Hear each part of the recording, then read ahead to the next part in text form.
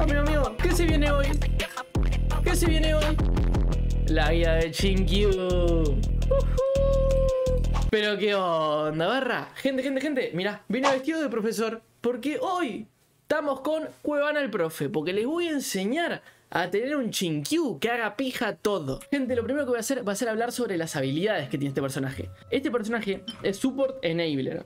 ¿A qué me refiero cuando digo que es un Support Enabler? Vendrá a ser Support porque es un personaje de apoyo. Él lo que hace es darle apoyo a tu DPS, a tu daño principal, para que haga más daño. Pero él cumple una función de ayudante, él ayuda al daño principal.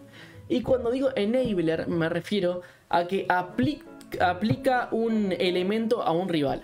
¿A qué me refiero con esto? Si yo utilizo la ultimate y estoy todo el tiempo pegándole a alguien, le van a estar cayendo lluvias y va a estar siempre con el elemento hidro. Entonces es enabler porque aplica mucho hidro para que luego otro personaje como Jan Face le tire fuego y ahí aplique vaporizados. Porque Chinkyu es el enabler y le está tirando todo el rato hidro. Esa es la función de él. Ahora, ¿cómo se juega Chinkyu? Chinkyu tiene dos habilidades que son buenísimas. Tiene la habilidad elemental, que es la E, que es una patada que hace daño dos veces. Ahora, ¿cómo funciona esta habilidad? Esta habilidad va a pegar una patada que hace muchísimo daño, pero puntos malos. La patada de Chinkyu tiene 21 segundos de cooldown, que es una bocha.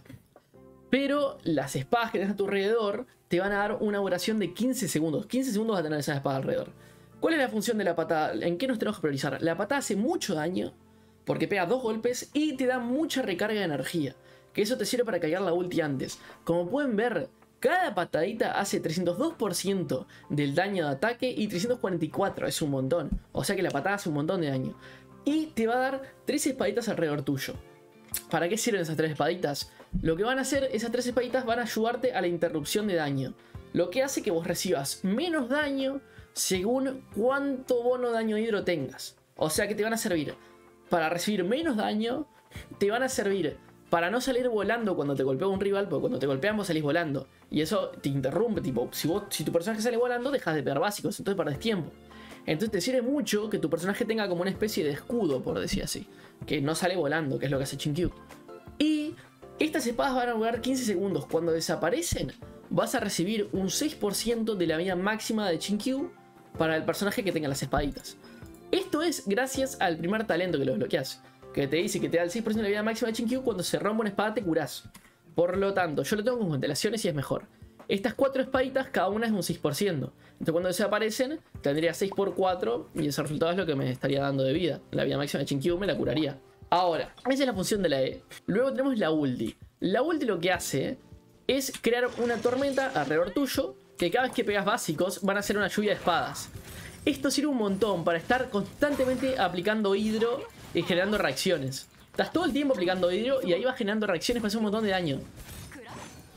Básicamente es eso, no es tan complicado. El sable de lluvia, que es la ultimate, tiene un coste elemental de 80 que no es, es alto, pero tampoco tanto. Ahora que ya vieron las habilidades que tienen que usar, les voy a explicar qué talentos subir. Que los talentos les recomendaría que sea lo primero que farmen. Porque si ustedes recién empiezan el juego, los artefactos les pueden salir buenos y les pueden salir malos. Pero los talentos los farmean y los van a subir sí o sí. Yo recomiendo que tengan. Los básicos no los van a usar. Los básicos tenganlo al 1. tanto la habilidad elemental como la definitiva son buenísimas. Yo las recomiendo al 7.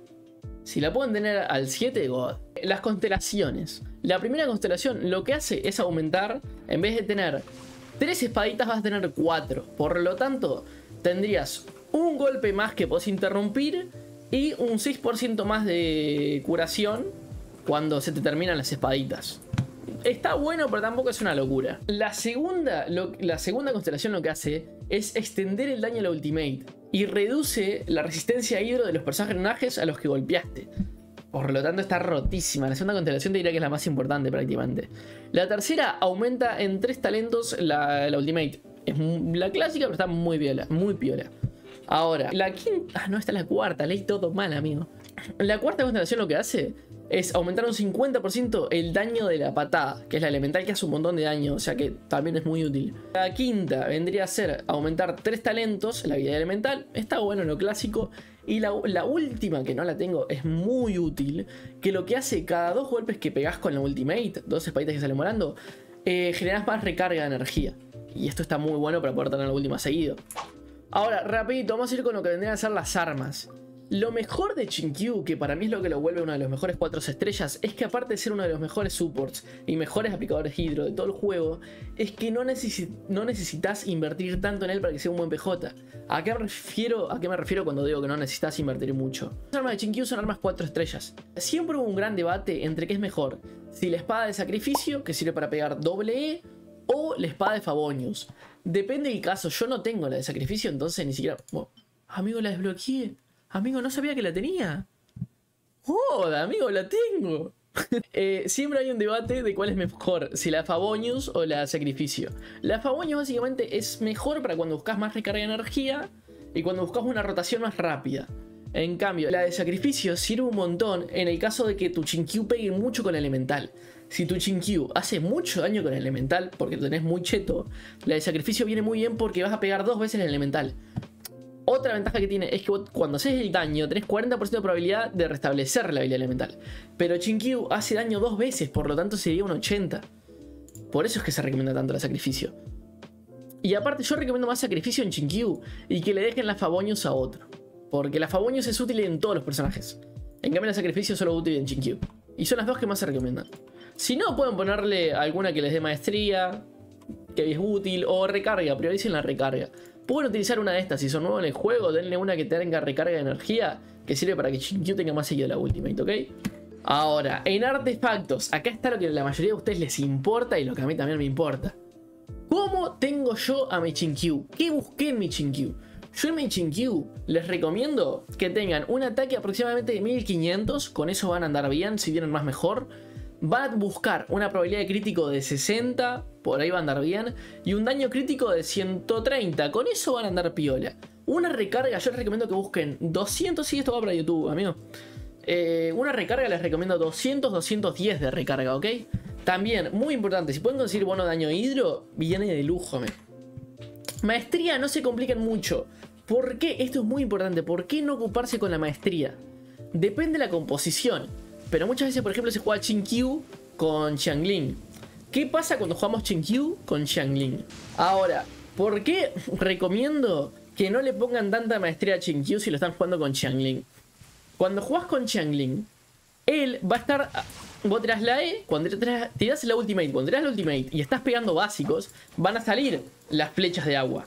El problema es que las flechas de agua salen continuamente. Están continuamente tirando las flechas de agua. En cambio, la ulti de Changling va más lento vas a tirar más flechas de agua que a la velocidad a la que va el tornado de Changling. Entonces vos con, con Chinkyu vas a hacer enabler, le vas a aplicar hidro, solamente le vas a aplicar hidro. Pero el tornado de Changling va a ser el que genere la reacción. Entonces Changling va a generar vaporizado. Ahí es importante que Changling tenga la maestría elemental, no Chinkyu. Por eso es un error que se comete mucho. Yo recomiendo que en Shinkyu prioricen mucho más el ataque, la probabilidad de crítico y el daño crítico que la maestría, porque él no genera tantas reacciones en realidad. Él aplica el elemento pero no le genera las reacciones. Y otra, otra, otro dato importante de cómo distribuir los, los atributos, la recarga. Yo tengo 232, no recomiendo pasarse eso, yo estoy un poco sobrado hasta. No se pasen de 220 de recarga si pueden. Más les diría que es hasta innecesario. Ahora voy a explicar con lo que, lo que es complicado y lo que es lindo, que es lo que si, si vinieron acá al video este es porque les interesan los artefactos. Hay muchas opciones de qué artefactos ponerles a Chinkyu, ¿ok? Yo lo llevo con emblema del destino, me parece la mejor. Las dos opciones principales son emblema del destino y nobleza. ¿Cuál es el problema? Nobleza lo que hace es darte 20% de daño en la habilidad definitiva, para repiola eso, y te aumenta el ataque de todos los miembros del equipo por 12 segundos. El problema es que puedes tener solo una nobleza por equipo.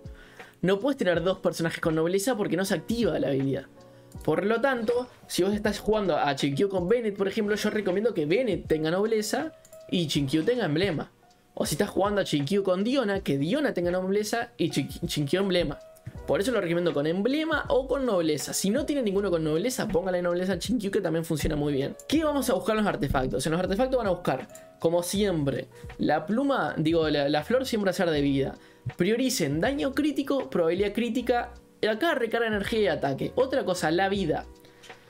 Las espaditas de Chinkyu te van a curar más mientras más vida tenga Chinkyu, pero Chinkyu no cumple la función de healer. Chinkyu es más un support de daño y la mayoría de gente lo recomienda así. Si les toca vida, bien ahí, piola, pero no la busquen. Prioricen los otros stats. Ahora, pluma también, ataque. Busquen daño crítico, probabilidad crítico. Si viene vida bien, defensa no les sirve de un carajo.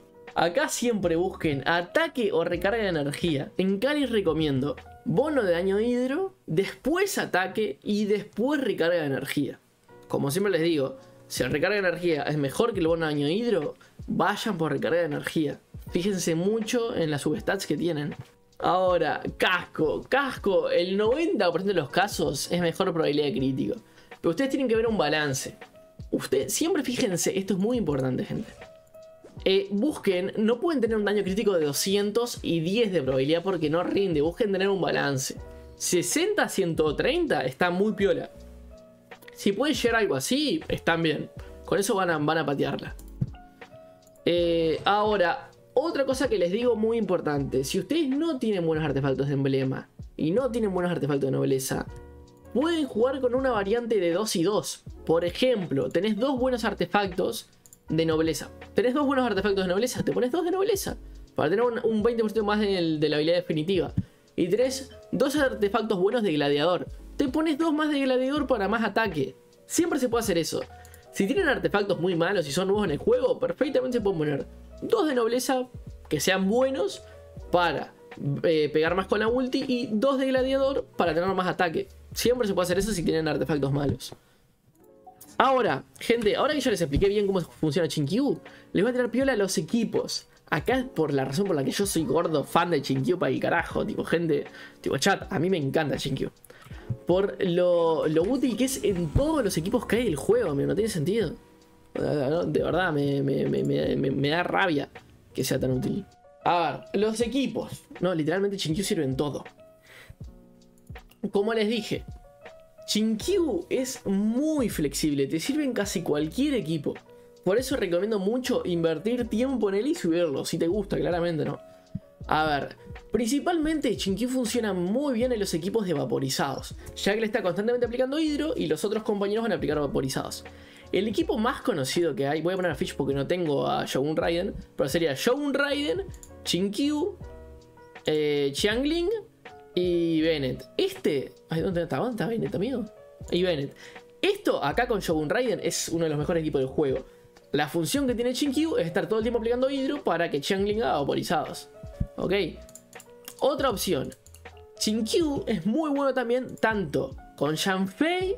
Por ejemplo, pueden poner a Shanfei y pueden poner un, un, un anemo que junta a los enemigos y un escudo para que sea fácil de jugar.